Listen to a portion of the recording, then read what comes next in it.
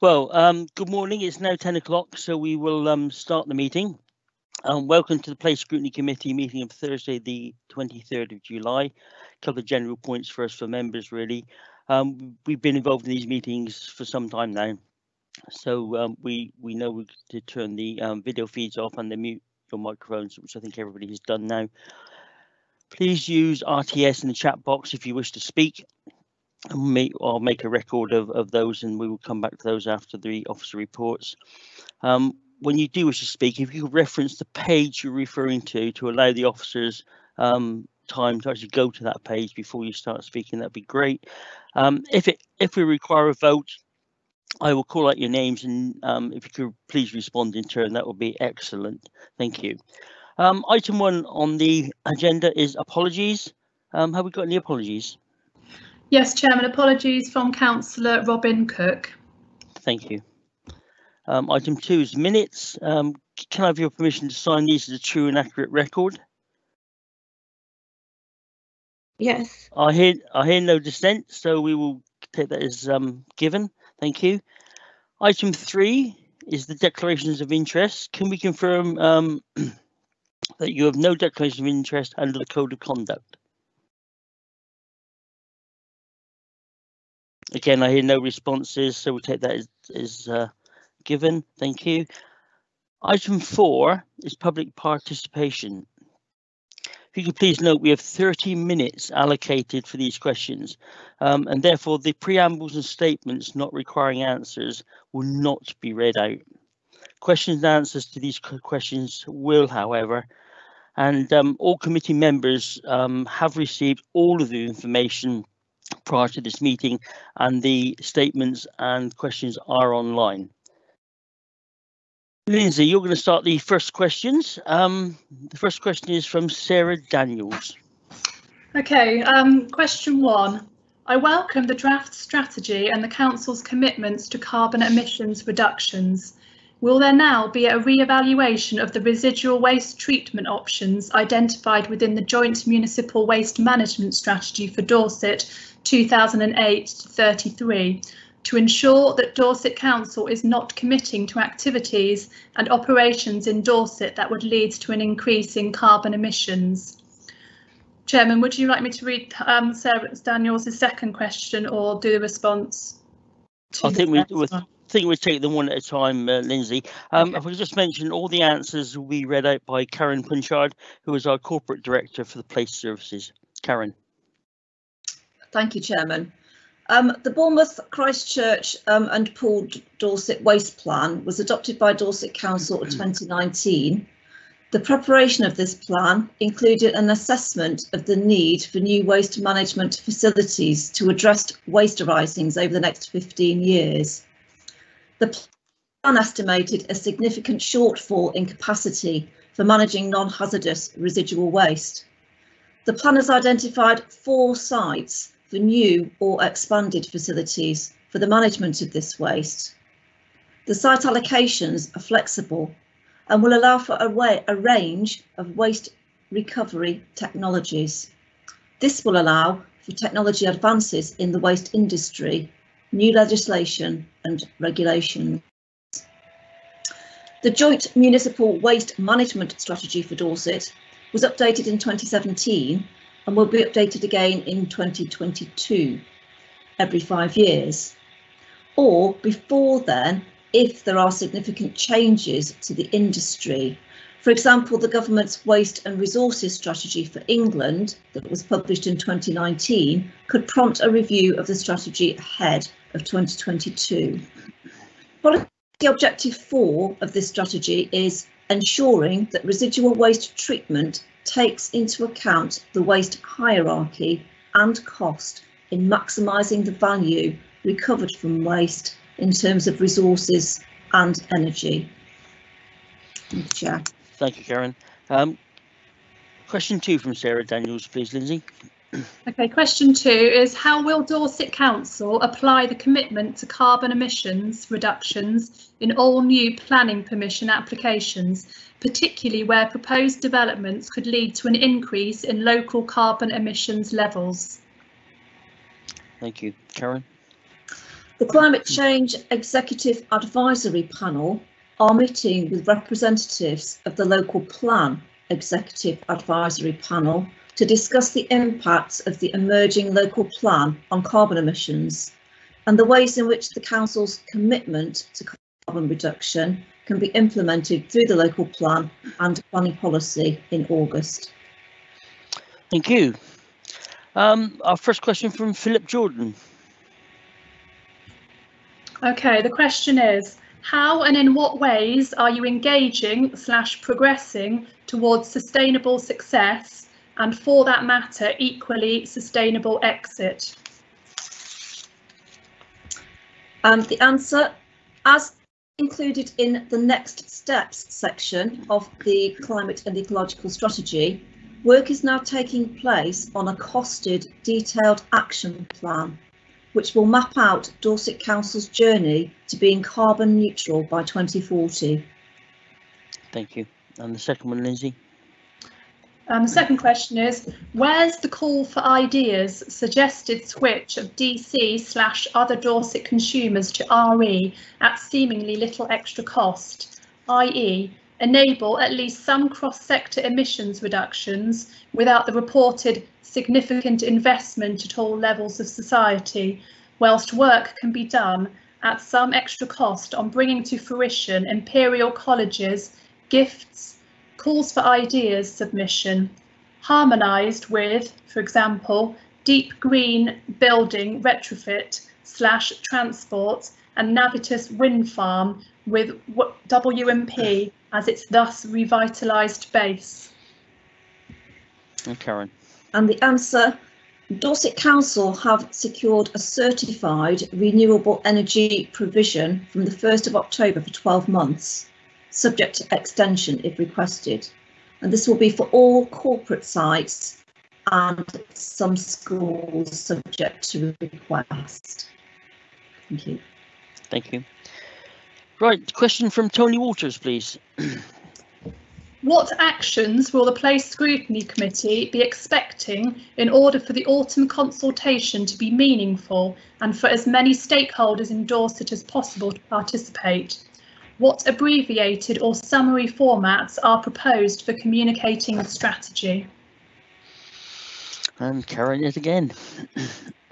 the public consultation will be carefully designed to allow qualitative and quantitative data to be easily collected and analysed.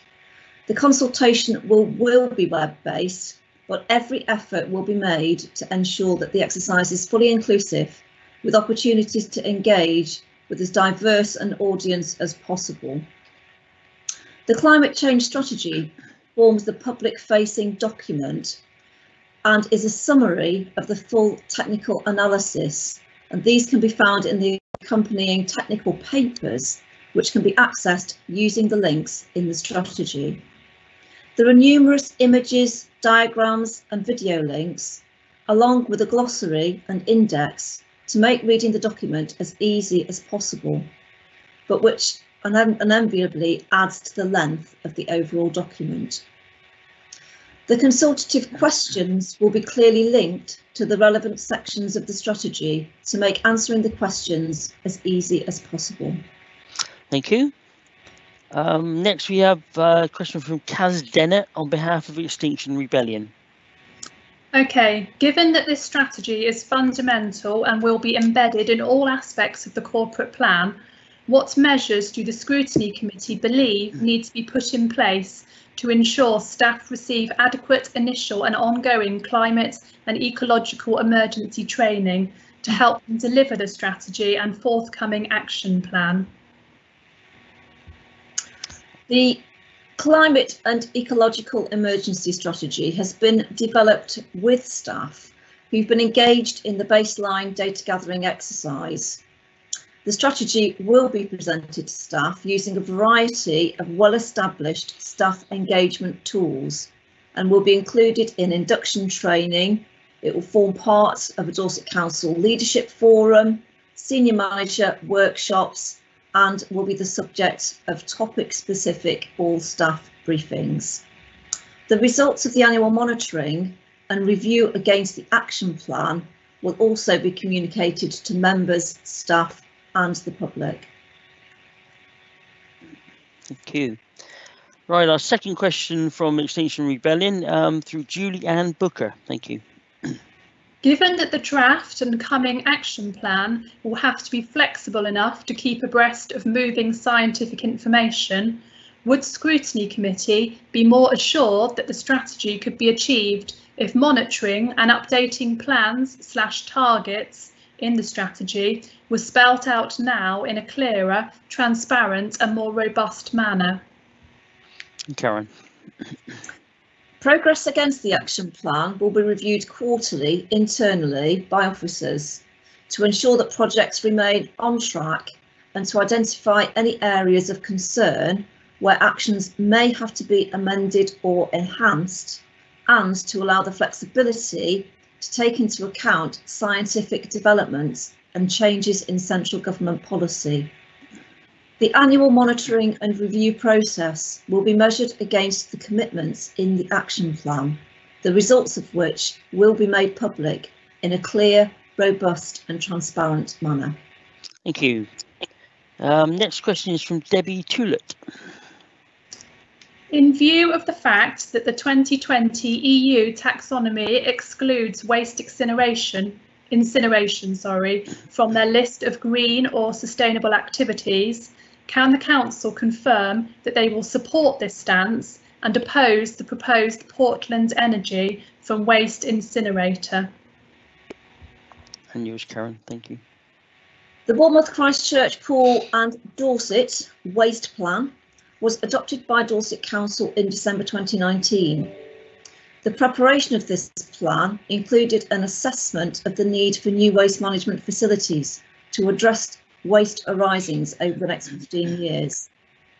The plan estimated a significant shortfall in capacity for managing non-hazardous residual waste. The plan identifies four sites for new or expanded facilities for the management of this waste. The proposal mentioned does not lie within an allocated site and once an application is submitted will be considered on its merits taking into consideration national policy and the waste plan policies, including the spatial strategy and guiding principles of the plan, which cover the waste hierarchy and managing waste in line with the proximity principle. As a result of Dorset declaring a climate and ecological change emergency, the applicant has been advised that any application should be accompanied by an assessment of how the proposal will help to reduce the carbon footprint in terms of the management of waste in appropriate facilities and locations.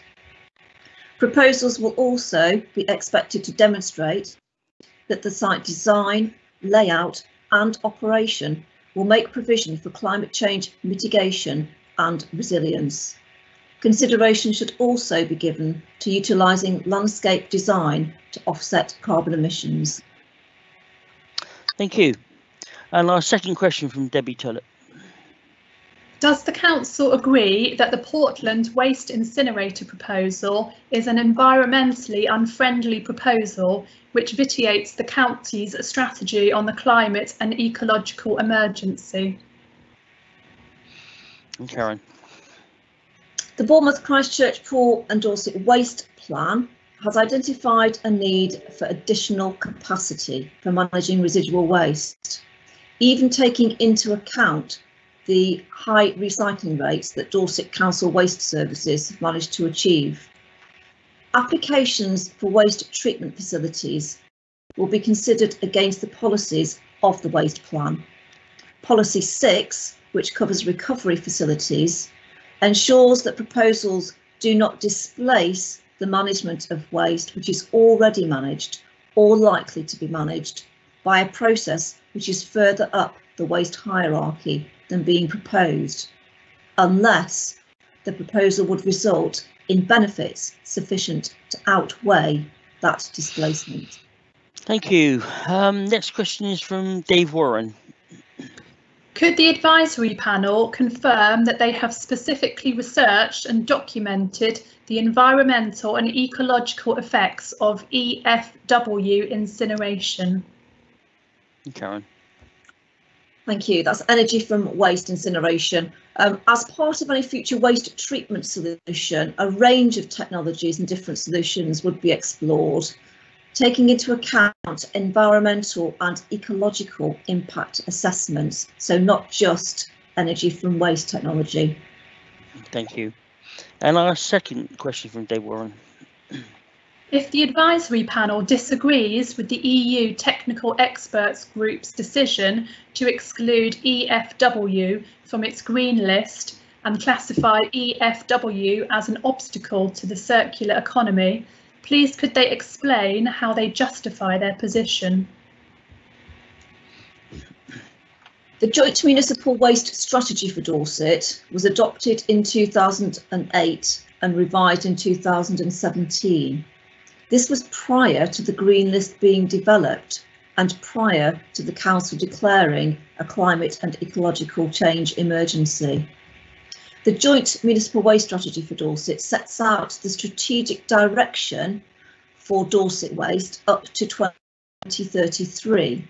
However, it has already been updated and is due to be updated every five years or if there is a, any significant change. A significant change in the waste industry is the government's Waste and Resources Strategy for England 2019. Therefore, any updated strategy, which is due in 2022, will take into account all of these local, national and international changes.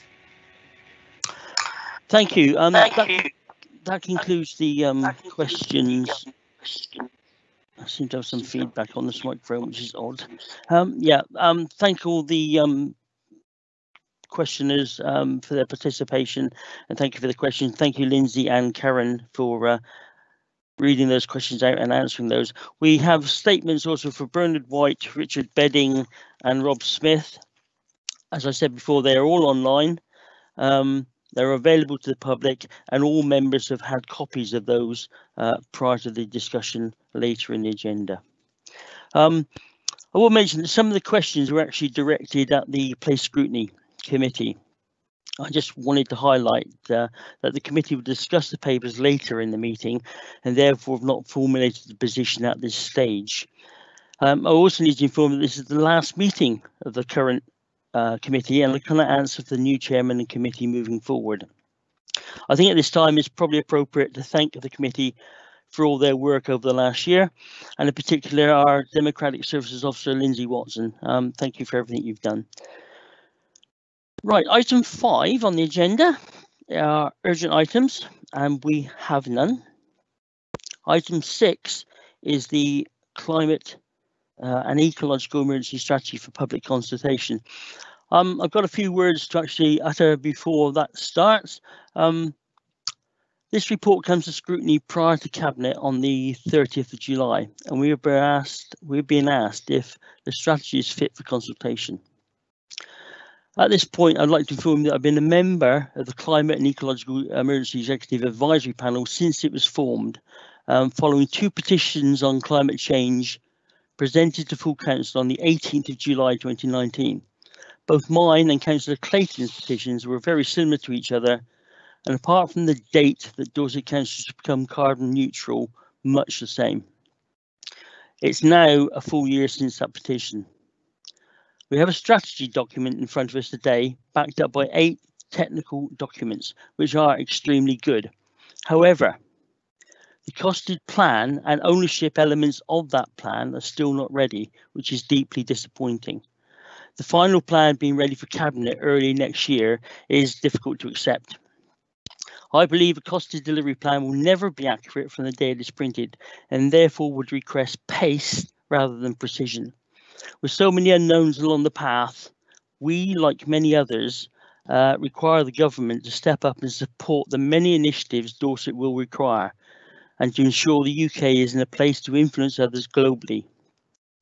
We need a dedicated lead member and officer to drive this forward. We need a delivery plan as soon as possible, and we need ownership of each element of that plan. I think we need exceptional communication both internally exter- and externally, which I'm sure we will get. I thought I'd add um, a little positivity as well, because um, we do continue to work towards a carbon neutral council and have done for many years now.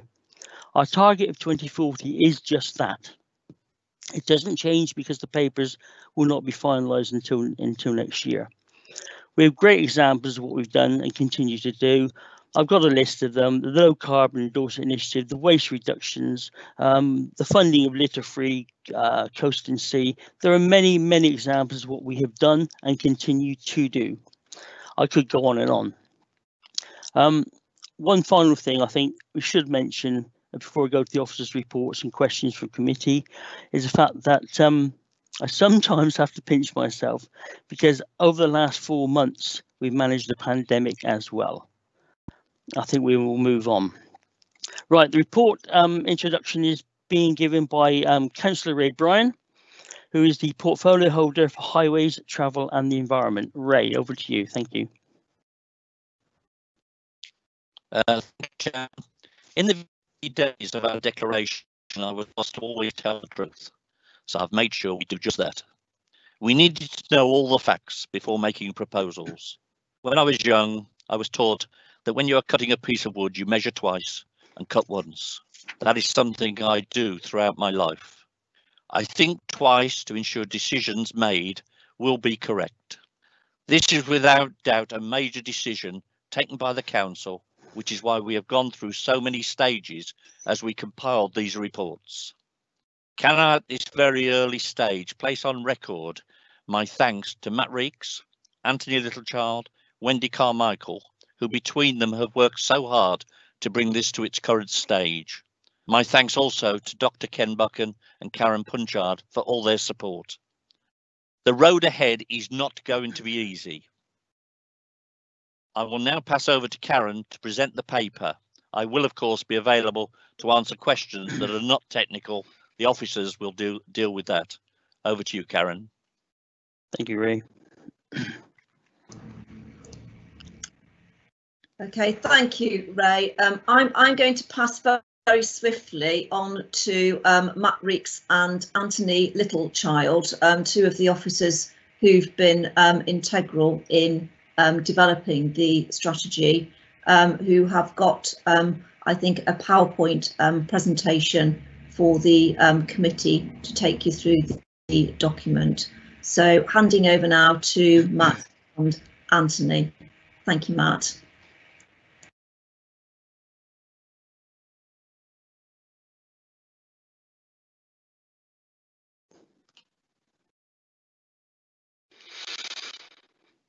Thank you, Karen.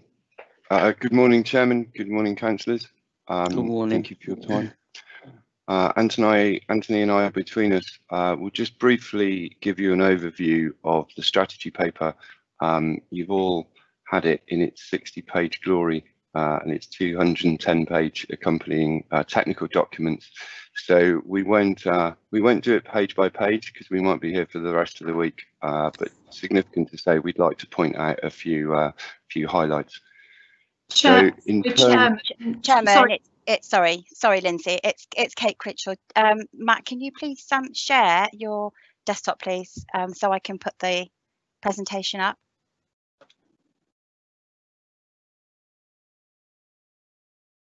So you should be able to see it now, Kate.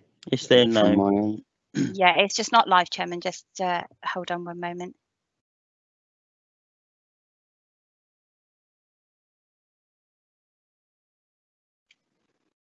Should be coming through now. Sorry, you can continue. Thank you. Thank you. Sorry about that. So our our road to the completion of the strategy was, uh, as Councillor Bryan said, influenced by the determination to get it right uh, and deliver a, a, strategy that was well researched, uh, technically correct, and, and ultimately deliverable. Um, as you can imagine, this is a this is a huge subject um, and did require uh, some significant sort of background research. Before you, you'll see just a, a, few of the steps that we, we undertook in the, the lead up to the production, primarily around the recruitment um, and appointment of a corporate sustainability team, um, of which Anthony is the manager. Uh, staff workshops leading to the creation of task and finish groups. This was involving all areas of Dorset Council service, uh, not only to uh, gather their particular expertise in their service area, but also to create that early engagement and, and buy-in from the staff. Engaged with our town and parish council partners through a series of workshops, at which point we were also able to offer them a briefing about the support available through the Low Carbon Dorset programme. We sought views from Dorset residents via an online call for ideas, and especially from young people through the direct representation to the EAP in December. And again, this was really important, not only to gather together ideas, which a lot of well-informed residents had, but also to engage with them and make very public the work that we were doing. The call for ideas led to some inquiry days in February and March, uh, and this was where particular individuals, community groups, children and youth parliament were invited to directly present their ideas to the EAP. As you'll see from the strategy document, these ideas have all been included where possible within the strategy. We also worked across a variety of particular topic specific networks that we're involved in, uh, looking at how other local authorities, central government and interested third parties are tackling climate change. Alongside this piece of work was the collation analysis, analysis of the baseline data for Dorset Council, wider Dorset's carbon footprint. And just worth noting at this point, members, due to the circumstances around uh, local government reorganisation, this is a particularly challenging piece of work. Obviously, to head towards our carbon neutral target, we need to know exactly where we are now. Bringing together uh, data from the predecessor authorities that was often collated and recorded in a different way has proved quite a challenge. The team are more than up to it and that work is now progressing. Anthony, can I hand over to you?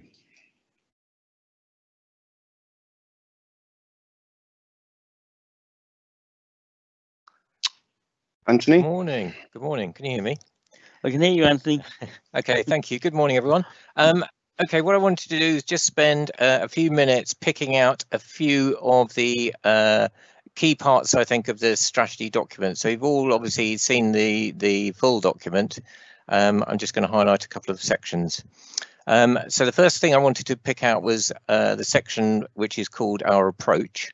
Uh, this basically sets out the way we've gone about uh, developing strategy and how we'll um, be taking uh, the activities in the strategy forward. I think three, one of the key points that's shown on this slide is that we've divided up, uh, we recognise them and divided up action between different types of actions, recognising that the the, um, the council can have a certain role across the whole of Dorset, uh, but has a very uh, key role in terms of its own estate. So we've divided up the um, activities into those where we can take direct action on our own uh, estate to, to, get ourselves to uh, carbon neutral, uh, areas where we have services which have a wider impact across the county, so indirect activities through our services, and areas where we're going to have to work and already are working with uh, wider partners and the community to uh, take action across um, wider Dorset. Uh, also in this area, it highlights the fact that there's there's going to be a big role in trying to encourage uh, national government to put in place a whole raft of measures and and uh, there's a there's a key lobbying uh, task for the council, and it also highlights that taking action on the climate and ecological emergency has a number of um, benefits, not just in terms of saving carbon emissions, but much wider benefits in terms of uh, health and well-being, local economy, uh, and whole sort of gambit around sustainability, I suppose, in terms of social, economic, and environmental benefits. Okay, thank you.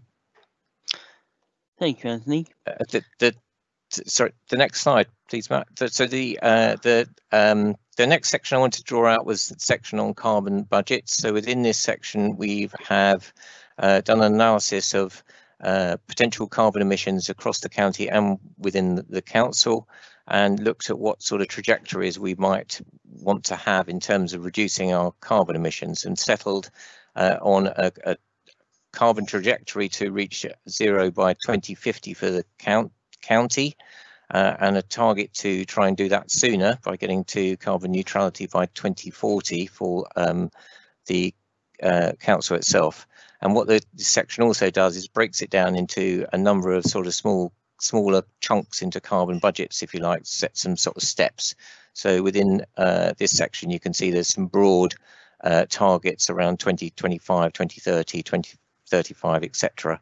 Uh, and these will be obviously worked up with more detail as we start doing the action planning so that we'll have some more specific, probably annual targets that we can aim towards. Thank you. Next slide, please. Um, the, the key body of the report has been broken down into sort of eight sec sections, eight action sections. Uh, this is just uh, one example. Each section uh, sets the sort of broad direction of travel, tries to um, give a summary effectively of uh, what the key challenges are, the topic area, so this one on renewable energy, um, and then if we move on to the next slide, oh, uh, it, sorry, each section also contains um, video links and uh, link to the more detailed background papers, so it becomes more of a sort of multimedia uh, affair. Uh, and each section has a section in terms of um, uh, key actions that we're we're looking to take forward that will be developed in more detail. Um, and these again are split into those that we can take directly, those we can take through our services, and those that we will need to take in partnership working with others. Uh, and a link to, to the more uh, detailed background papers that have been uh, mentioned earlier. Thank you. Next section. Just wanted to highlight. So I think this is one of the key parts of the strategy, which is called making it happen. And this is really about how do we sort of embed the, the activities within uh, the foundations or the heart of the what the council does. Um, and obviously we've identified that already at the heart of our corporate plan.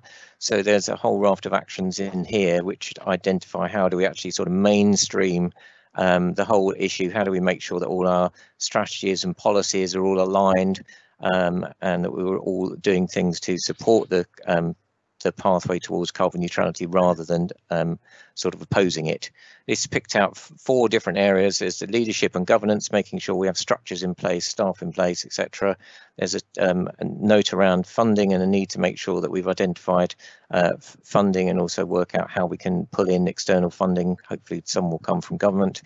Uh, and it picks out uh, the importance of engagement and communication, both internally within our own staff and also wider across the whole of the county. So this is a, a county-wide approach is obviously much wider than just what the council can do. It's much more about what everyone in uh, across Dorset can do, individuals, organisations, and we all need to sort of work together. Uh, and lastly, picks out uh, the importance, things been mentioned before, around monitoring and reporting, and the fact that there will be uh, some regular windows of reporting, firstly against some of the key performances around some of some of those uh, carbon reduction targets. So we'll be able to report on those probably annually, um, and we'll also be able to report much more uh, frequently in terms of our own actions or particular key uh, things that we're doing. Uh, I think that's all I wanted to say. I'll pass over back to Matt to finish off. Thank you. Thank you, Anthony. and finally, uh, Chairman members, um, around the particular next steps uh, is obviously the detailed uh, action planning uh, of the work. So this will be based broadly across the eight key themes which are identified in the strategy. Each area of action, as we've already discussed, uh, direct, indirect and influencing, will be broke, broken down into key measurable actions these will then be costed uh, and timelined against the key targets that we mentioned earlier on in the carbon budgeting section, and also scored against the um, criteria that you can see before you say their ecological value, the resilience of the measure, the economic impact or value, uh, and also the health and well-being benefits to enable us uh, to be able to give a, sort of indication of the priority of those actions um, against the cost. And also it's important to say the potential savings from some of those uh, in an effort to um, monetize the carbon saving. Uh, obviously, those will also be highlighted in terms of any potential revenue savings. That work is taking place as we speak, uh, and it's our intention to um, be able to present the detailed costed action plan for approval by the council in October of this year. Many thanks. Thank you, Matt and Anthony. That's um excellent. Right, um, questions from members. I think because of the subject, well, I'll go through the list of members to actually see if you would like to ask questions rather than use the RTS. So, um, first of all, Cherry, have you got anything? Yeah, I've, I've, I'm muted now. Sorry, it just takes a second um, yeah. and it throws me. Okay, um, just to say thank, thank you for the, the report and the presentation. I'm, I'm really quite um, heartened by it that we've managed to move so fast. Um, one of one of the things that's slightly concerning me though is that when I was I was in a, um, a, a another meeting last week with some people, and the, one particular person who heads up um, a very large part of a, a worldwide bank was saying that we we have a real trouble with data at the moment because a lot of data is inaccurate um, and when people are having to forecast, particularly with COVID, um, that they're erring on the side of um, caution and disaster rather than what's the reality. So I just um, wonder whether, because I know you've mentioned it um, uh, slightly, that the the uh, the data was not um, always available. Have we got enough data and have we got enough confidence in it um, that we need to implement that strategy? Thank you. And that's Matthew or Anthony.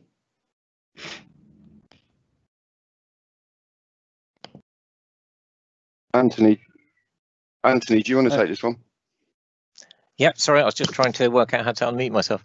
Um, yes, thank you. Thanks for the question. Um, yes, as you pointed out, so the, the, the, key information that we that we have been struggling to sort of pull together, I think, is the uh, baseline data in terms of what is our current uh, carbon footprint as an organisation.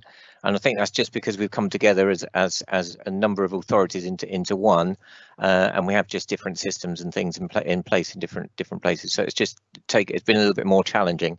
Uh, we've got some work currently underway, so the hope is that we will get a much more accurate picture uh, of that data now we've now we've sort of been in existence for a whole uh, year and we're just in the process of pulling that together so that we're hoping by the time we come to the action plan stage we'll have um, a more detailed baseline against which we can uh, measure.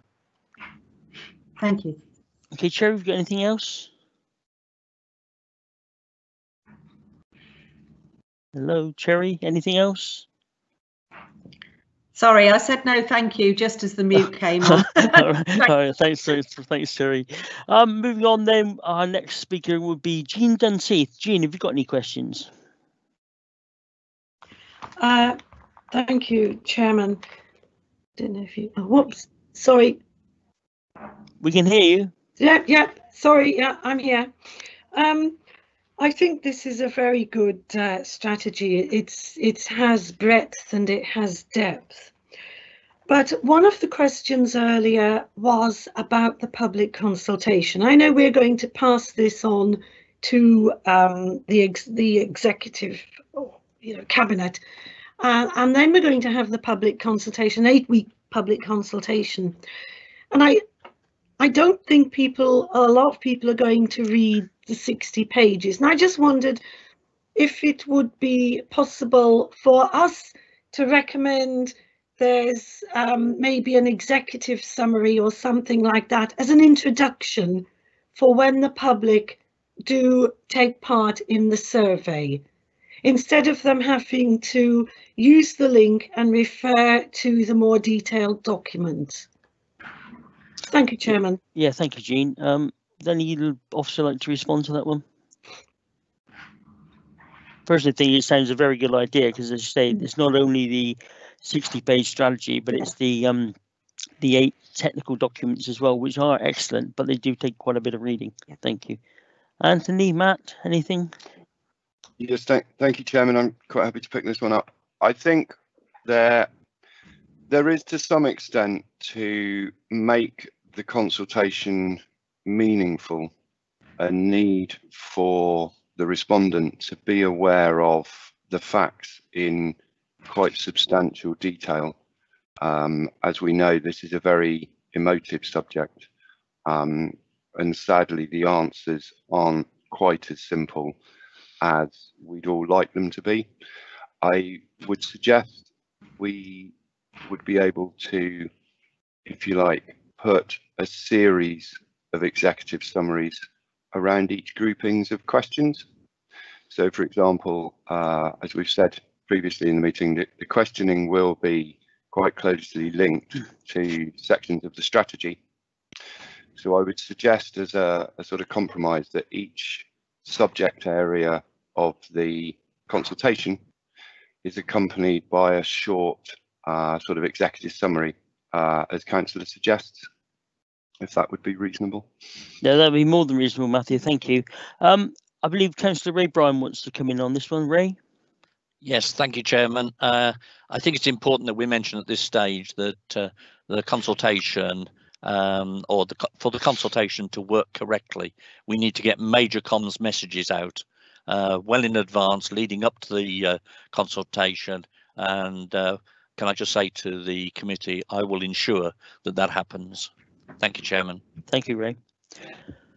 Right, our next councillor is Councillor Simon Gibson. Simon, have you got anything? Uh, yeah, very quickly, Chairman, and thank you. It's on the same topic as, as Jean. Uh, the consultation um, is hugely important for the next step of getting this strategy right. It's already clear from the numbers of people that have engaged so far that there's a lot of public interest in this. And I, am very satisfied with Matthew Reeks' answer about putting executive summaries throughout the document. It does help break it down.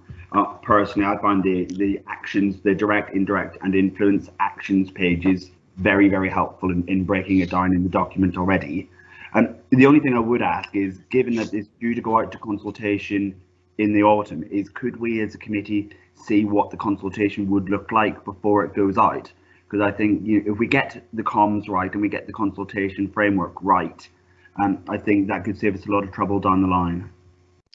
Yes, good comment, Simon. Um, obviously, we haven't got a uh, meeting, but I think we could do that electronically. That shouldn't be an issue. Um, Anthony, Matt, any comments on that one?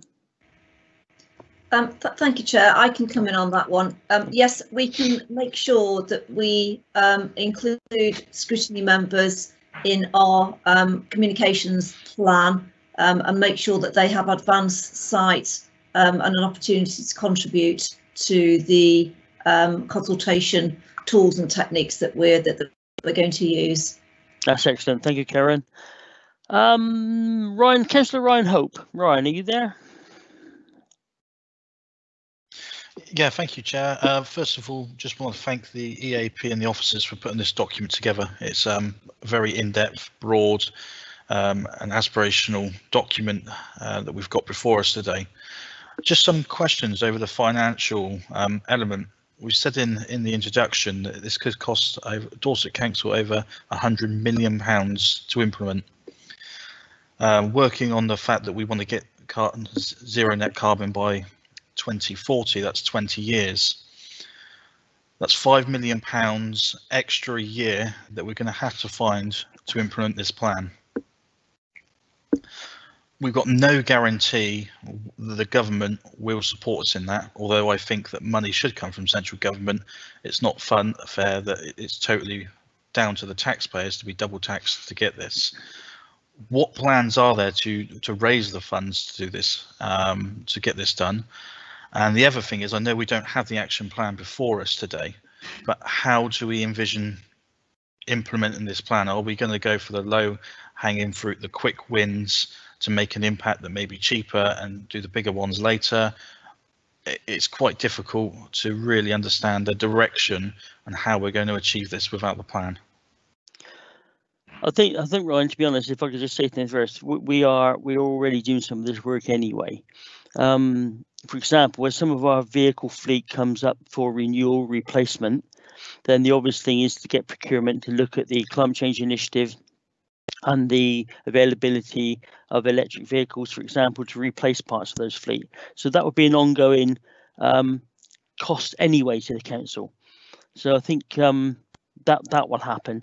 And there are another uh, another um, number of issues. Staffing is the obvious one. We've seen throughout COVID, 2,000 plus people working from home and worked really well from home.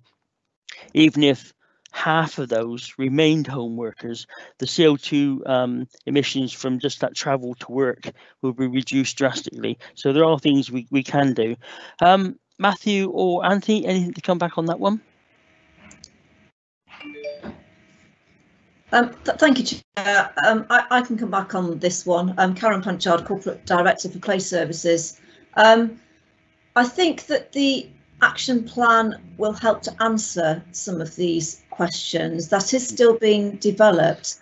And the intention really is to make sure that the action plan and the financial consequences feed into the council's wider budget making process.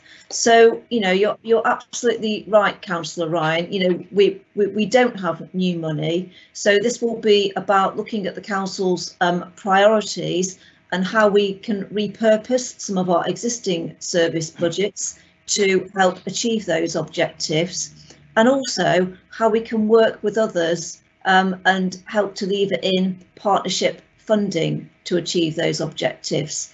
There are projects that are ongoing at the moment um, that can help to deliver the objectives, but looking more longer term, it will be a challenge, you're absolutely right, to um, you know, to fund the the level of activity that we need to achieve. Um, and you know, we'll need all the councillors' support to um, you know to help us to deliver that. So it's a debate that needs to be had, and I think that the October cabinet and the action plan will be the place to do that. And I think Anthony just wants to come in as well. Thank you, Anthony. Thank you, Karen. I was, all I was going to say was, um, uh, yes, in terms of when we start doing the action planning, obviously we'll be able to identify the, the key things we want to do and associated costs. I think Daryl's already mentioned there are there are certain things which we're already doing and already uh, have in place and already funded, and there are various activities which we already do. Uh, and the other key point, I think, is that some of the uh, early measures we can take will uh, enable us to pay pay the money back quite quickly. So some of some of the activities, some of the energy saving um, actions will have a very quick uh, you know, a few year payback. So, so there'll be a sort of invest to save element, which we'll also be able to factor in. Thank you, Anthony. Um, I've got Ray next who wants to comment on this one, and then Brian to come back on the uh, on his question. So, Ray.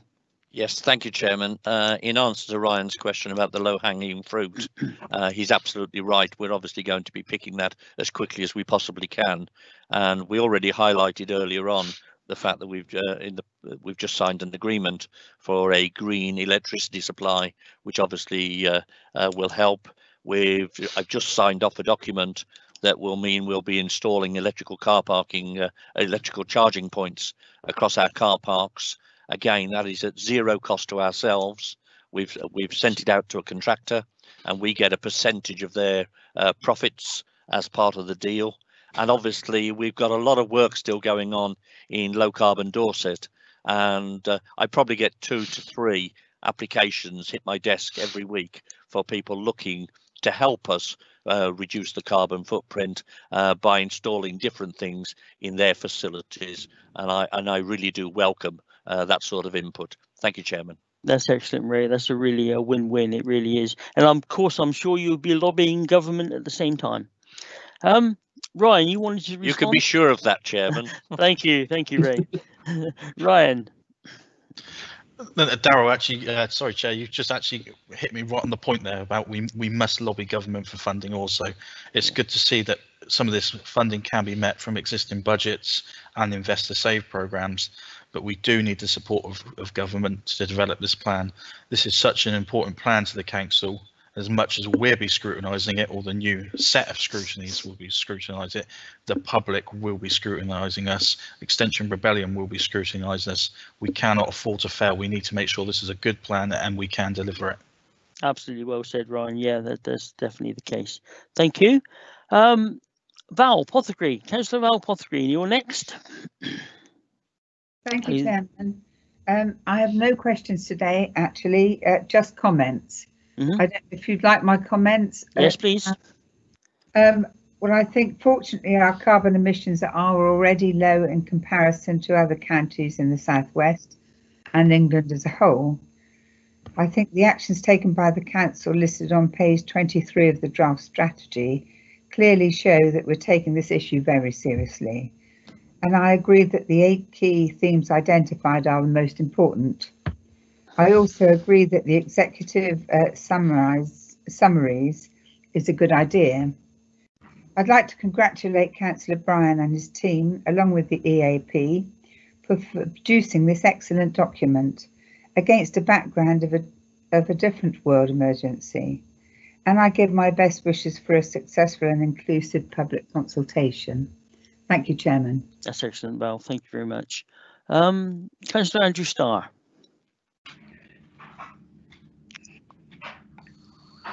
Thank you, Chair. Thank you, um, I'd just like to welcome this report, and it's it's a very good report, uh, and it does a fantastic job of pointing out the complexities of this situation ahead. However, it's clear that the answers to these questions are somewhat more difficult to pin down that is largely because of it, they are not in our hands. The report often cites things such as uh, lack of direction of national direction strategy, inherited infrastructure, business rate levy acting as a significant barrier to barrier to investment, lack of strategy, lack of legal requirements to fit retro retrofit businesses, um, all pointing to the government give us tools that we require to move things forward in many areas. However, it is still of the utmost importance that this council leads the way in Dorset, not only in the way we this this organisation works, but also in giving a, a, a, lead to the county as a whole. Um, one, or two specific items I would like to point out on the report, if I may. Um, on page seven, um, quote, by addressing one of these um, emergencies, we are also addressing the other, being, being the uh, climate and the ecological emergencies. That's not, I wouldn't necessarily agree with that. There's sometimes, for instance, uh, from a, a, a, climate perspective, electric cars are a good idea, but on the on um, uh, when it comes to uh, the species that that may be damaged when when the uh, uh, the batteries are made from some unsustainable sources. But um, also the um, on page 11, quote, human sources of emissions are partly responsible. I think we've moved beyond that personally. I think we've it's not entirely responsible, but we've we I think the the situation is being accelerated hugely by human um, uh, uh, emissions. Um, and we also we should uh, the, the little um, uh, reference to the uh, the political situation that will be made will be quite apparent when more and more people from the third world cannot live where they're living now.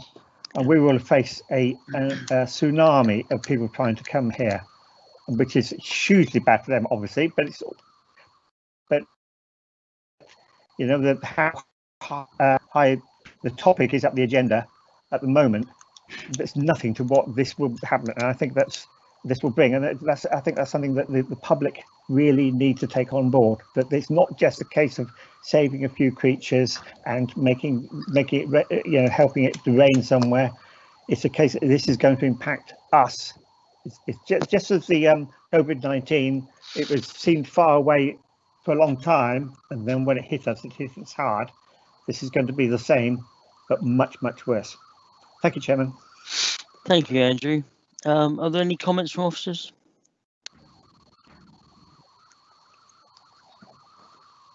No, I hear none.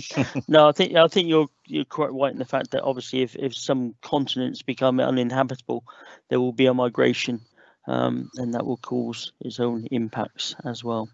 Thank you, Andrew. Um, our next speaker is Roland, Councillor Roland Tarr. Uh, good morning. I would like to compliment the, the team who produced this report. I think it's an excellent report, an excellent direction for policies, all the staff that helped them. But uh, Matthew and Anthony have done an excellent presentation today. and I'd like to thank them for that.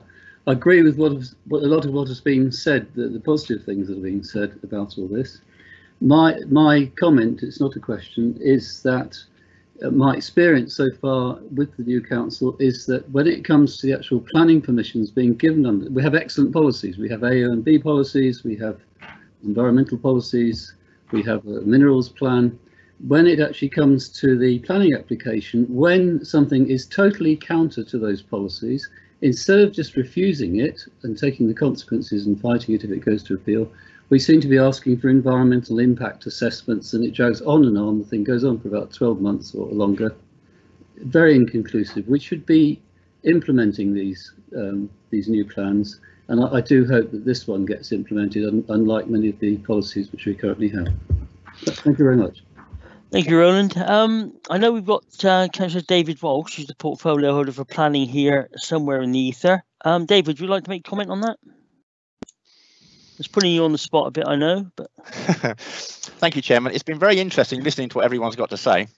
And as was said, um, the Planning EAP Committee is meeting with the Climate Change Committee in August. There are many things that we are going to be implementing through the next local plan, but that will not be adopted before spring 2023. Now, the problem we have in trying to enforce policies that we do not have in place and have not been agreed by the Secretary of State is that we really cannot. We have no way of enforcing things that are not in our policy, which is why I'm saying, and I know Ray is lobbying government, we need some of these climate changes on planning to come through national policy because they can implement it immediately. Ours is going to be three years away. And yes, we can just say, no, we refuse this. And then it does go to appeal, and then we do lose it, and then we do get costs awarded against us, and the development goes ahead anyway.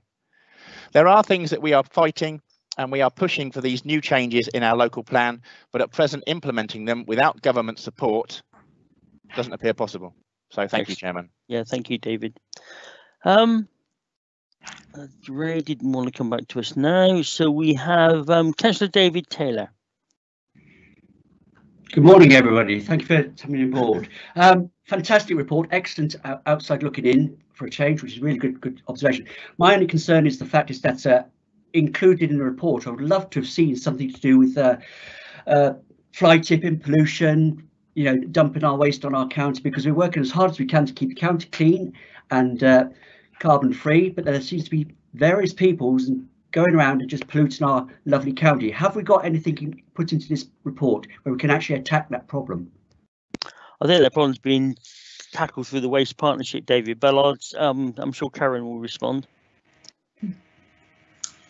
Thank you. Um, yes, you know, we, we do have an enforcement team um, in waste services that deal with um, fly tipping. We also have teams in environmental protection that deal with um, incidents of pollution and work very closely with the Environment Agency to deal with more major um, pollution um, incidents. So yes, you know, there are plans both within the council um, and with our partners to deal with both fly tipping um, and pollution incidents, some of which you, you're, you're, you're very right, you're very correct, you know, will have a damaging impact um, on, on the environment. So yes, you know, we, we, we just need to make sure that we keep um, you know, keep vigilant um, and keep monitoring and dealing with those um, as and when we can, particularly those that are harmful to the environment. Thank you. Thank you, We had a prosecution the other day, which was absolutely fantastic about a fly tipper or building waste and stuff, which is marvellous. But the only concern that worries, worries me is that it's our taxpayers that have foot this bill. And the thing is that we don't seem to be having any central government funding coming down to actually help us with this and enforcement orders. You know, because the fact we could look at enforcement orders to say if you do, you get a big fine. And the thing is that we just uh, we missed that link where we can't actually just prosecute without with true success on the story. That makes sense. Makes sense, David. Um, yeah. Okay. Um, have you got any other questions or comments? No, we have nothing. That's fine. Thank you. I just thought I'd um, Councillor Ray Bryan, you wanted to respond. Yes, uh, and in answer to several questions, actually, uh, I've got to say I'm very heartened by the comments that are coming out so far, and it really does give us a, a guidance on uh, um, the way forward. I think the most important thing we need to get across is the message that we need help from the public on this. We can do what we can do, but we need to make sure we get the message out to the general public that they've got their part to play. And I hope that will be the outcome of the final report. Thank you, Chairman. Thank you, Ray.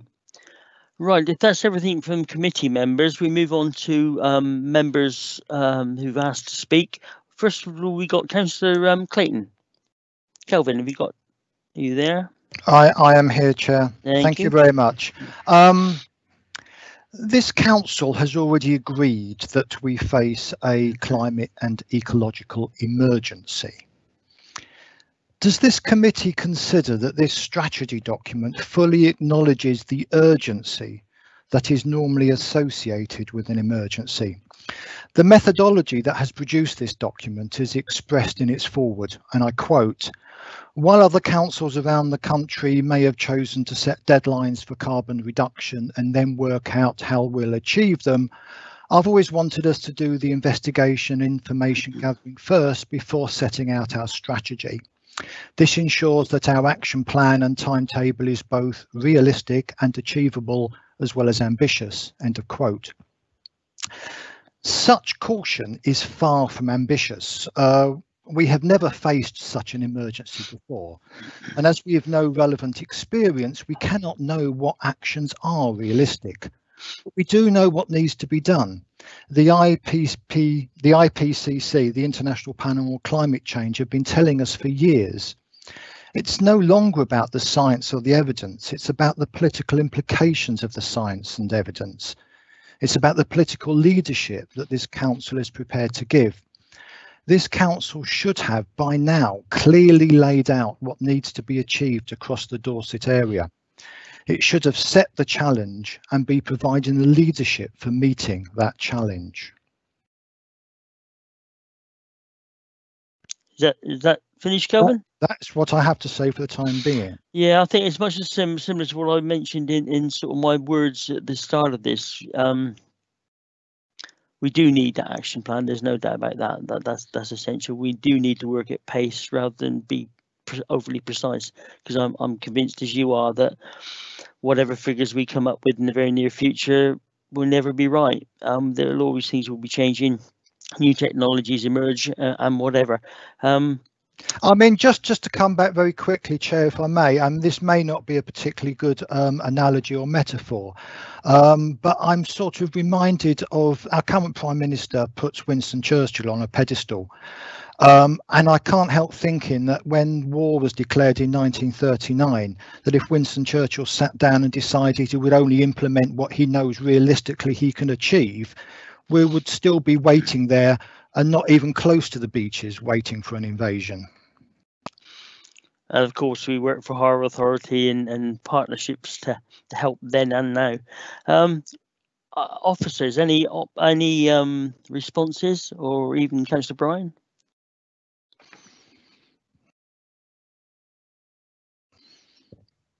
It would be wrong of me not to respond. I so thought I you will would, respond. Thank, thank you, Chairman. Um, it's ever so easy to uh, uh, come up with the comments of uh, uh we should have ha this should all have happened uh, much more quickly. And Kelvin, I really do take on board uh, your comments as I do Daryl's because I think it's very important that we've reached the stage now where we have the strategy, we're producing the action plan, costed. We can then look at what what we do going forward believe me, I am equally as frustrated as you are um, with the lack of uh, um, guidance coming down from the higher authority uh, as to what help we're going to get. We need to now uh, take on board the fact that this is going to cost a lot of money for the taxpayer. We need to work on the basis that we'll get nothing uh, from central government. That's not what I believe to be the case, let me tell you, but that's what we need to work on and I will make sure um, that we keep the speed up that we've gained in the last few weeks. Where we're still working on a pandemic, so that hasn't gone away. Um, but I do feel, Kelvin, that uh, um, you need to just uh, uh, bear with us in the short term. Um, there's a lot still to be done, and uh, I have every confidence in the officers for making sure that we uh, we get this. I am lobbying like mad to get some money out of central government so we can get some of these um, options uh, dealt with a lot quicker. I know that people aren't happy with the set date of 2040, but the 2040 is a date that I'm assured by officers we can achieve. Had we gone for an earlier date, I think we would have struggled to meet those dates. And hopefully that answers some of your questions. Yeah, and just on that, I, I mean, I accept that the 2050 date has been brought forward to 2040, Ray. Um, but it is only in terms of Dorset Council estate. It's not for Dorset Council as a, not for the Dorset area as a whole. Um, and in terms of political leadership, I think we could be acknowledging that that needs to be in a much wider area than just Dorset Council and really providing that political leadership to get other organisations to come on board. No, I think that's right, Kevin. But we will um obviously as as we um set our own house in order, we will be able to influence others within within Dorset. And, and as you are fully aware, I think Dorset Council actually emits only, well, just slightly less than 1% of the whole Dorset emissions. So we are a tiny player as far as emissions go, but we have we are in a position to influence. There's no doubt about that. Okay, we will move on then. Um, Councillor Kimber. Uh, th thank you, Chair, and um, thank you for having me this morning.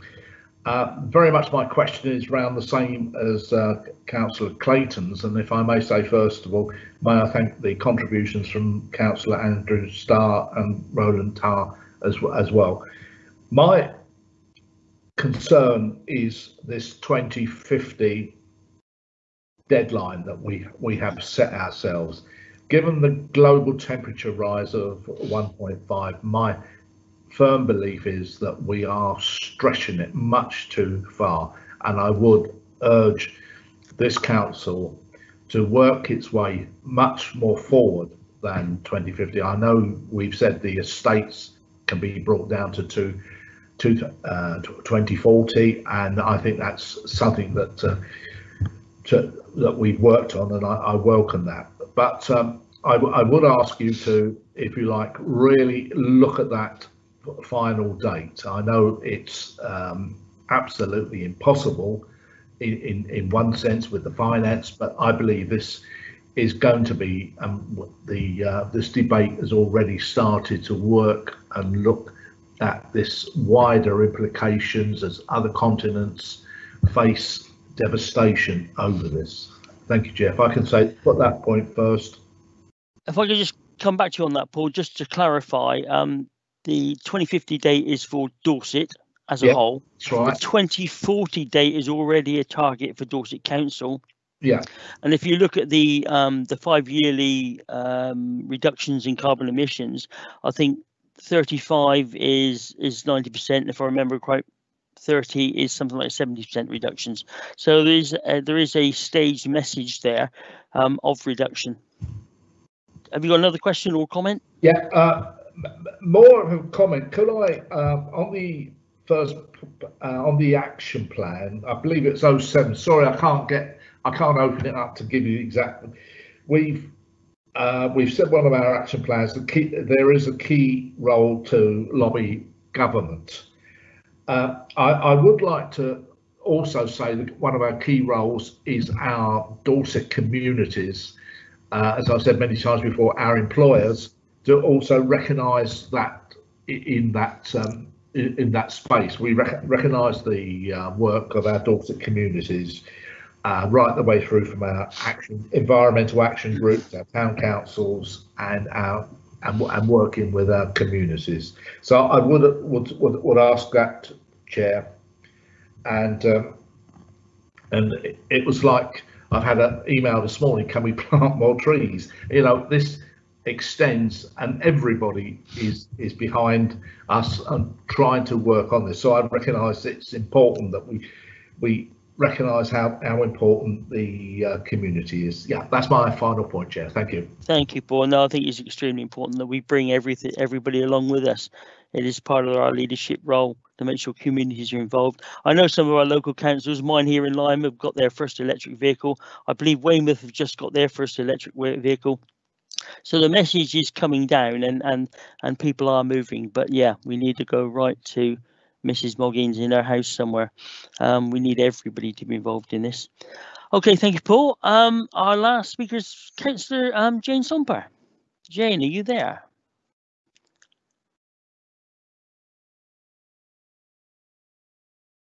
Jane? I am, but I, points have been covered. Thank you, Daryl. Oh, thank you, Jane. That's great. That's thank excellent. you. Okay. Um. Final question. Final then request. Any anything else from uh, committee councillors? I hear nothing. Then. Um. We have in front of us. Um, Chairman, you got, Chairman, you've got Councillor Valerie Pothecary asking to speak. Uh, I've seen that. Yeah. Thank you. Val. Thank you, Chairman. I uh, really, it's been a very interesting discussion. I think we've covered as much as we can at this stage, actually. And I would like to propose the recommendation to approve the draft Dorset Council Climate and Ecolo Ecological Emergency Strategy for consultation with the public following the development of a cost of delivery plan as proposed. Thank you. Thank you, Val. Um, I was going to ask for um, any other determinations? I've scribbled a few down from the committee this morning. Um, one was obviously the committee would like to see the summary for consultation um, prior to it going out. And I think virtually it's been agreed that the committee members may attend the EAP that looks at that at the time. So I think that's something we could push forward. Um, obviously, the lobbying government is, is, important. I think that ought to be down as a comment. Um, partnership working and actually um, David's comment on planning that we should be pushing national policy changes as soon as possible. And I think that's that's the that's the main headers I had just to add to those comments. So if you're happy um, with recommending that recommendation as written um, with those comments. Absolutely, Chairman. Uh, that's excellent. Committee members, um, we should we ought to vote on this. So we go through the list again. If you'd like to put your um, your mics on.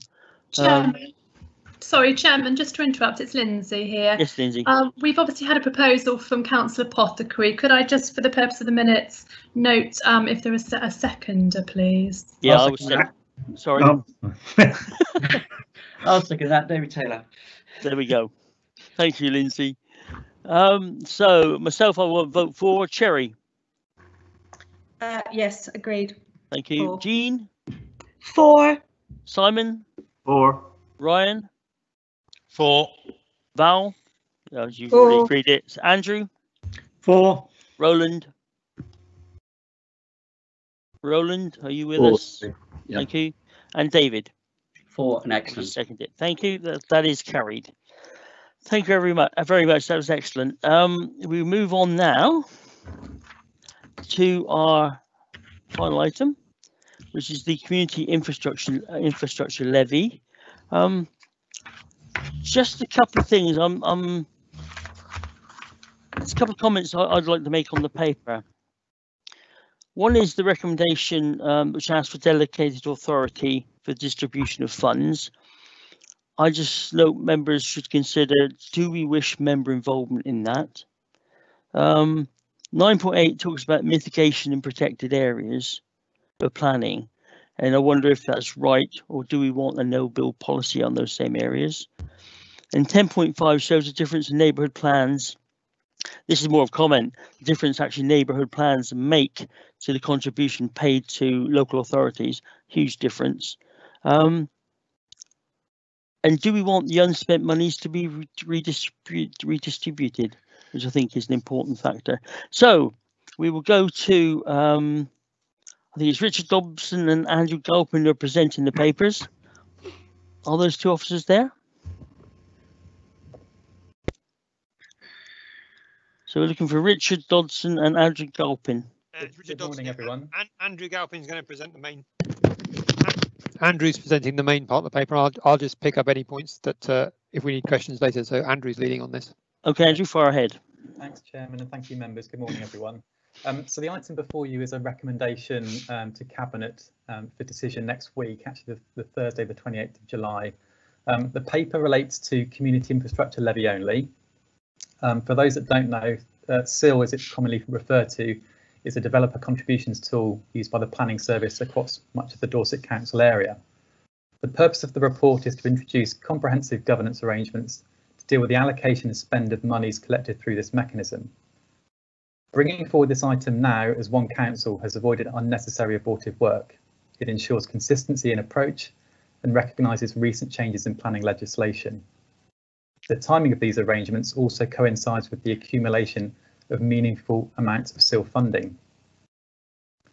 CIL differs to planning obligations secured by way of legal agreement insofar as the principle is to support the cumulative impact of development rather than any particular site-specific needs. There is still a role to play for legal agreements, particularly on major sites, and recent government regulation now allow planning obligations and CIL to be used for the same item.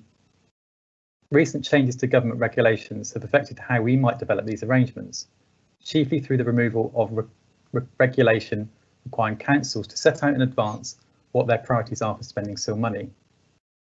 These regulations changes came in effect across England last September. Until that point, those predecessor councils which introduced CIL had published lists setting out their priorities for spending CIL. Priorities included flood defences, education, transport and biodiversity mitigation. This report recommends a new governance arrangement is put in place to deal with the legacy categories and commitments and identify new infrastructure challenges and priorities going forward.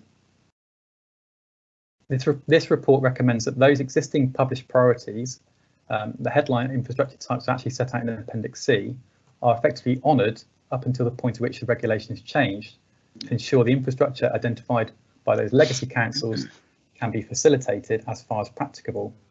It also recommends that the charging area boundaries are retained for the purposes of spending that money.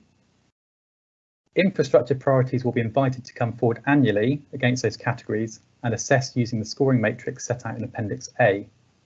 Thereafter, the proposed governance arrangements will help facilitate the identification and assessment of new infrastructure priorities with the charging area boundaries retained again. Paragraph 10.12 of the report before you provides further details of this process. It may be the case that many of those infrastructure priorities identified by the predecessor councils remain in place going forward, particularly where there are wide-reaching cumulative impacts. The emerging impact of development on protected habitats and NHS healthcare is something which the government arrangements can also address. The report before you doesn't identify any new infrastructure costs, with the exception of the protected habitat costs identified in Appendix D.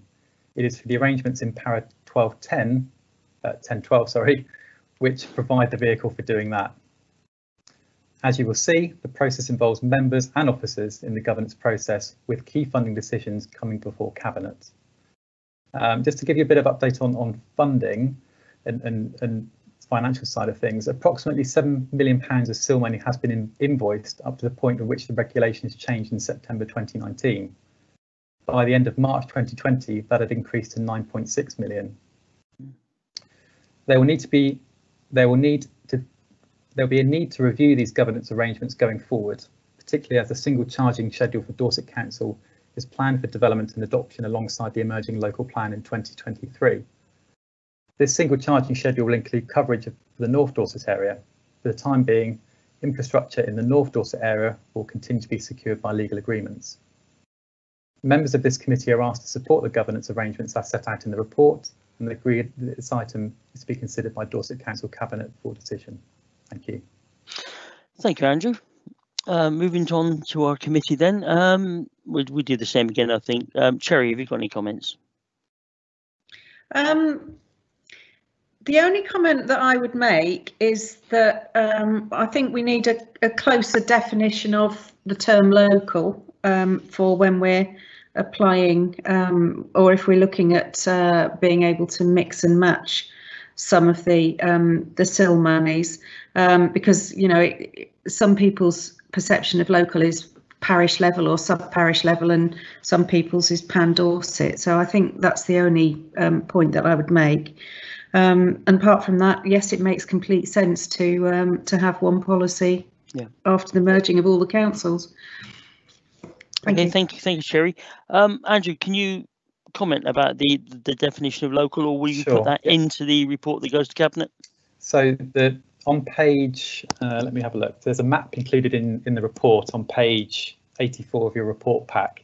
Um, that sets out the ex existing charging areas which are operating and will will continue to operate until a new single charging schedule is in place. So what we're proposing through the report is that monies collected within those charging areas stays within those charging areas. So you wouldn't have the situation perhaps of say money collected through Sewer and Lyme Regis being spent in Alderholt, which is which has no bearing on that direct bearing on Mm. that location. So we're trying to to keep it as local as we can within the existing arrangements we've got, because as I said, this will be replaced in time by a single charging schedule. And again, we would look at governance arrangements as, as to how that that spend is, is then broken down. I hope that Yeah. answers your question. Yeah. Yeah, that's fine. Thank you. It, it does to a point, Andrew, but it does ask to, uh, on one of your recommendations, to dele- delegate to the executive director of place in consultation with the portfolio holder the approval of prioritization of CIL, CIL spend. Now you're saying that's going that's going to be looked at further. So what we're proposing through para 1012 of the report is a is a is a process where we identify um, projects or we invite projects to come forward. That will go through a series of, of internal working groups, um, and those recommendations will then be be going to um, either either cabinet where they are key decisions, or perhaps some of those more minor um, funding awards or funding decisions um, could be delegated through um, the executive executive director for place Oh, that's um, fine. in, in that's fine. consultation. So it's not so that not every single um, bid or approach for funding has to go through cabinet. I think it, cabinet's really there for the key decisions and the, and the key challenges or tensions between um, between competing um, bids or competing ideas. Okay, that's much clearer. Thank you. Sherry, anything else? No, I'm fine with that, thank you. I think well, I, I understood the bit about the charging um, areas, but I'm, I think uh, moving forward as we when we when we actually have combined everything, that's when I'd like to make sure that that, that local is defined very well. Okay. But thank you, that's it. Understood. Thank you. Um, Jean, comments or questions? Uh, thank you, Chairman. My connection dropped for a few minutes there, so I, I've only just um, got back in, so I, I've missed a little bit of, of what was going on. But um, looking from Chickerell, it, it looks as though Chickerell will now be included in Team G, which is Weymouth and Portland as well, whereas before we were in basically what would have been Team F, which is um, basically West Dorset.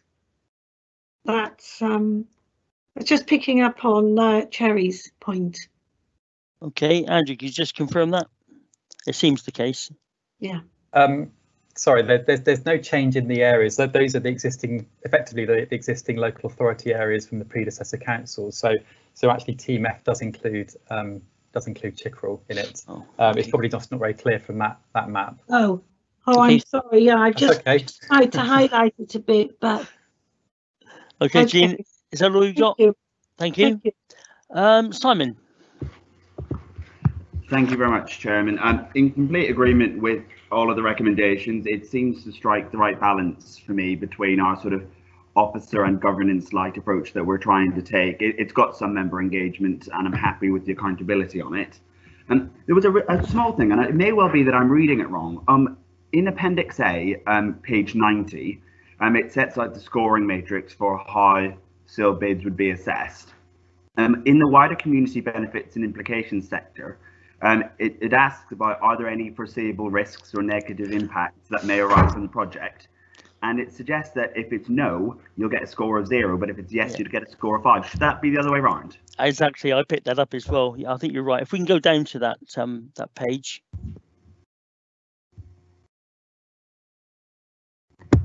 No, I think you're exactly right because I, I picked up the same thing. It looks the wrong way around. Um, Richard, if, if you want to jump in here, but I, I think there probably is a, a an, an error with that with that score, and we, again we can get that corrected for cabinet. Um, unless Thank- unless, unless Richard wants to drop jump in. on We that go one. to it. Thank you, Chair. Thank you, Andrew. Yeah, yes, I- I think yes, I think it's a it's a um, it's It's on your it's on your screen now. Are there any foreseeable risks or negative impacts? And if it's a yes, therefore you have a risk or a negative impact, you get a higher score, which is totally the wrong way around. Yeah, it's the wrong as way far as, as far as myself and Simon are it, concerned. it, it, it needs that needs changing. We'll change that before it goes to cabinet. Okay, that's excellent. Thank you, Thank you. Simon. Anything else? Uh, yeah, uh, just a few sort of general comments, Chairman. I, I Mhm. think the principle of uh, keeping the pre and post charging schedules as you know the local areas makes a lot of sense. I agree with Cherry that when the time comes in due course to discuss what local means, I've got quite strong views on that. But that's parked for today. I think this is a sensible way to merge what has been a sort of inconsistent approach to CIL across the council areas and gets us gets us somewhere for now. So complete agreement, and I'm happy with all of the recommendations. Happy if it's helpful, Chairman, to propose it. Thank you, Simon. Uh, Ryan. Uh, no further comments, Joe. I think it's been my comments have been pretty much uh, covered. Um, and glad to see that it's being dealt with locally, because where the development happens, that's where the infrastructure is needed to support the community. hmm Thank you, Ryan. Uh, Val. Thank you, Chairman. I'm very happy to support um, this um, with the amendments. Um, uh, so I'll second the proposal. Thank you. Thank you, Val. Uh, Andrew. Uh, thank you, Chairman. Uh, Just one um, issue, uh, again, on money being spent locally. Um, in Upton, there was uh, money spent, Heathland mitigation money was raised partly in Upton, but it was never spent here. But it's spent by Poole on Upton House, which is obviously a benefit to Upton, but it's not in within the, the local area that it's a different council altogether. I wonder, would that there's a flexibility to, to enable things like that to happen? Andrew.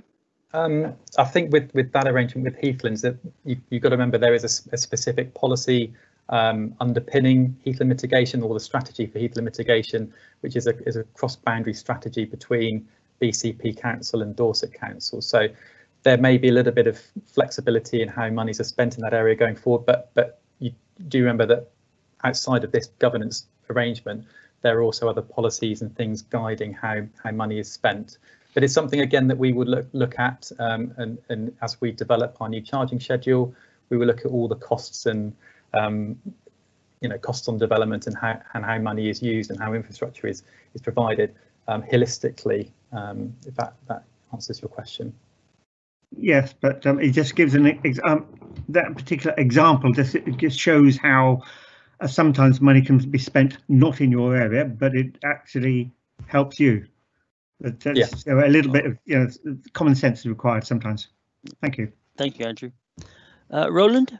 Well, my comment similar to Andrew's, uh, and, and also I think Val referred to it. This the definition of local because we've had under the old system uh, schemes which were uh, being paid for, which were so remote from the, the I've I've got 13 parishes, so remote from those parishes, they have no benefit to them whatsoever. And I think that's something which we need at parish level. We need to, to ensure that um, that level of democracy is respected and they do have a say in, in how the money goes. And it, it, I'm not quite, I haven't quite got the hang of CIL completely yet, but it seems to me that some decisions that are being given to deputy directors of, of departments uh, rather than to the parish council. I may have got that wrong, but that's my comment. Okay, Roland. Thank you. And David. Yeah, just reiterating what Cheryl said and Simon, uh, just great, you know, just to keep it local and the fact it must be lo- locally spent because the fact is, at the end of the day, it's, it's it's it's another form of funding which we're losing to other areas. I just want to make sure it's specific to our area. Thank you. Okay, David. Thank you. Um, Chair- Chair- got. Chairman, can I just come back and respond on Yep, couple yep, of those certainly. points. Just um, the, the, the, the obviously the, the, the main thrust of the, the comments here about about local spend. Um, in the report, we do, we do set out that a, a certain proportion of all CIL receipts are retained by the town or parish from where that development comes from. That's part of the, the regulations we work with. Um, that proportion is 15% where a, a town or parish doesn't have a neighbour plan. That increases to 25%. Um, we have been spent. We have been transferring monies from um, the, the income we receive to those town and parishes now um, forward for a number of years, and, and they are starting to benefit from the use of that money and are reporting on it. So, in terms of the balance, there is there is a by law a, a requirement to ensure that those those town and parishes um, get a get a part of, of the SIL money and are, and are using it. Thank you. Thank you, Andrew. And that also shows the um, the benefits of having a neighbourhood plan. Um, Councillor David Walsh, you wish to speak? Thank you, Chairman. Um, I won't take offence, but I was here today to introduce this report. Um, ah, I wish somebody uh, told me. That would have been useful. no, I don't mind. It's been fantastic listening to everything you've said and what everyone else has said. I mean, I was going to start off with nobody would like to follow the um, previous report. Of course, draft Dorset Council climate and ecological emergency strategy for public consultation being hugely important. But as I see this, being the community infrastructure levy, this is also hugely important. And Andrew, thankfully, has just answered one of the comments regarding neighbourhood plans, because the whole reason this was brought in by government was to um, encourage um, um, parishes and towns to bring forward development in their own areas that they yeah. wanted local development. so with that, they can have some finance coming forward with this. And as Andrew said, neighbourhood plans that have been made get more, those that haven't get less, but they still get money. And I want um, something sort of enforced here that stakeholders, including statutory bodies and voluntary organisations, need to be aware of the availability of CIL funding, which may be available towards appropriate infrastructure provision. Because all this was brought forward with CIL to enable infrastructure. We all know how important that is. And this is very, very important. Maybe not as important as climate change, but locally, yes, it very much is. Because we all know with development, the most important thing with our residents is the supporting infrastructure. And this is to ensure there are sustainable integrated spatial plans for housing, infrastructure, employment and environment at our towns, suburbs and rural areas. This is huge. It is a small document compared to previous ones, but this in itself is a huge document and it's very, very important. And we as members need to be out there talking with our town and parish councils about how they can utilise the spend on this. This is very, very important. And I wasn't able to introduce the paper well, I would like to thank the officers for all the work they've done in bringing it forward. So, thank you, Chairman. thank, thank you, David. I can I take a hint. I'm very thick-skinned. message taken. Um, no, no, I think you're right. I mean, if we could get a good comms message out to reinforce that message you just you just read out um, to town and parish councils, and yeah. to emphasise the importance of a neighbourhood plan and the additional monies that they can receive. Are you content with that, sir? You're smiling. Thank you, David. Um, right. Moving on, um, we already have Simon proposed the recommendation as written. We have Val seconded it. So there. Chairman, Yes, it's Lindsay. Just on a point of clarification, mm -hmm. as you just set out, the uh, the recommendation as set out in the report was proposed by Councillor Gibson and seconded by Councillor Pothecary. When Councillor Pothecary seconded the um, recommendation, she made reference to um, the amendments as well, and I just wanted to be clear that she means the amendment that was just picked up in the report, the reference to risk, and not any amendments to the recommendation as set out in the report. That's correct, Lindsay. Thank you. You're mute, Daryl.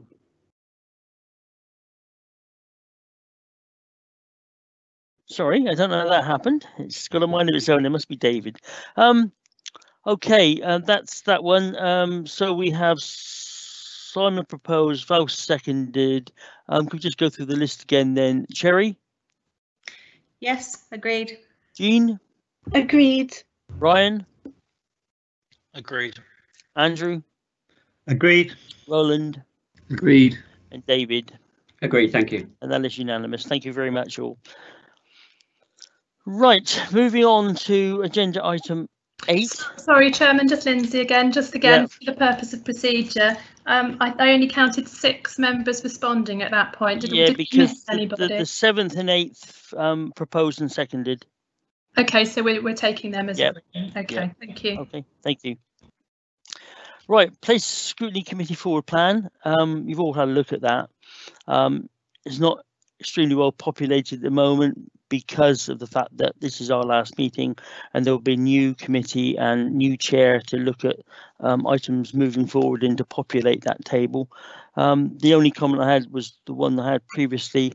The, at the very end of that um, that item, there's a list of proposals or future topics that the new chair and committee may consider.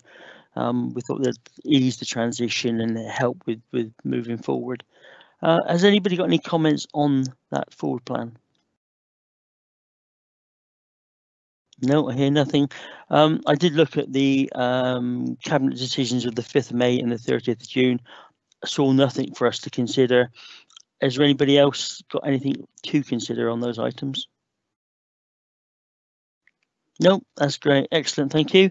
Um, one one final comment on that. Um, it's about our scrutiny process within Dorset Council.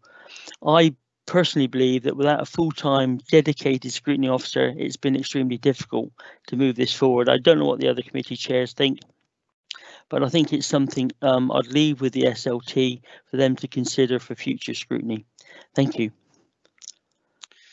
Chairman, it's John Sellgren, Executive Director for Place. I just wonder if I might ask your uh, Vice Chairman if uh, she might be willing. I, as Director, I'd just like to uh, uh, ask members to to thank you on on our collective behalf in the Directorate for the support you've given us through the, the last 12 months. It's been a very interesting time for me professionally and for the whole team as we've worked to create this new council. And I do think that the role that scrutiny has played and that you've played as chair of this scrutiny committee have ensured that we've got this new council off to um, the very best possible start. Um, and I, I would personally like to thank you, but I perhaps ask your vice chairman if she might seek the wider agreement of members to that uh, being recorded. Thank you, John. Yes. Thank you, Chairman. Um, if I if I may then speak to the other members of the committee. Um, obviously, we've we've all worked with Daryl. Some of us have worked with him in in previous uh, organisations, but we've worked very well as um, base scrutiny committee, and I think he's been um, unafraid sometimes to uh, to dig out some things that needed to be dug out, and I and I I have a great deal of respect for that. So um, on behalf of the committee members, I'm assuming that they're they're all in agreement. I'd like to say thank you very much and um, good luck. Thank, thank you, Cherry. Thank you. Thank- Thank thanks, everybody. No, we work well as a committee. I think it's it's been really interesting, and um, yeah, I shall hopefully I'll be there anyway for whoever takes on this role um, Mhm. in the new structure. If if they want anything, any help, always here. Okay, final item is item item nine, and this is exempt business. We have no exempt business. Um, and therefore, I'd like to thank everybody, everybody for their contribution and close the meeting at 11.37. Thank you all very much.